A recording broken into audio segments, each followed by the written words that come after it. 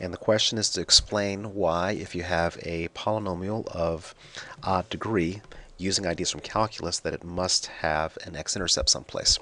So let's, for the sake of argument, let's take a look at case 1 where a sub n is greater than 0. Then we know that the limit as uh, x goes to uh, plus infinity of f of x, well, this will take the behavior of the leading coefficient, and that's equal to plus infinity. And also we have that the limit as x goes to negative infinity, f of x, that's equal to negative infinity. Okay, now what does it mean for the limit as x goes to infinity to be equal to infinity? That means that if you take x large enough, then you can make f of x bigger than any number you want. So let's just pick a just pick a, a number like 1. So so there exists a capital L so that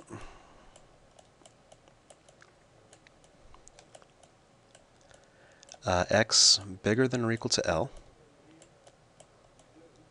implies that f of x is greater than or equal to, and let me just conveniently just pick any, any positive number. Let's pick just 1.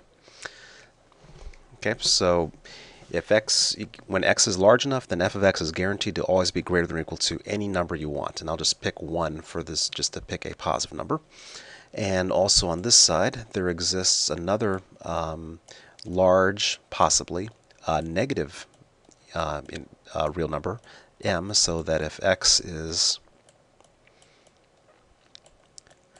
less than or equal to m, that implies that f of x is less than or equal to negative 1. So that's what it means to have a limit that is negative infinity, that if I pick any number here I want, then if I take x large enough, if x is large and negative, then f of x is guaranteed to be less than or equal to that number.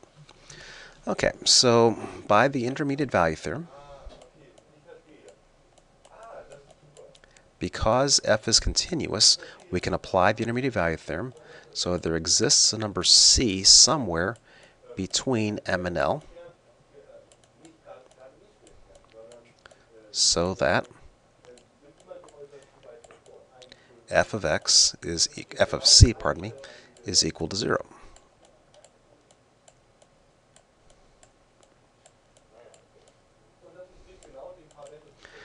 Okay, so the picture of the graph, it looks like this. You have, it blows up negative this way, it blows up positive this way, it's continuous, so somewhere in between it must cross the x-axis. That's the idea of the proof, um, and the, the um, what we did here formally is if I put negative 1 here and positive 1 here, then I'm guaranteed that if I mark these thresholds, there's going to be some value uh, m on this side, so that no matter what, the graph of f of x is always going to be lower than minus m, and there's going to be some L over here that guarantees that f of x is bigger than positive 1.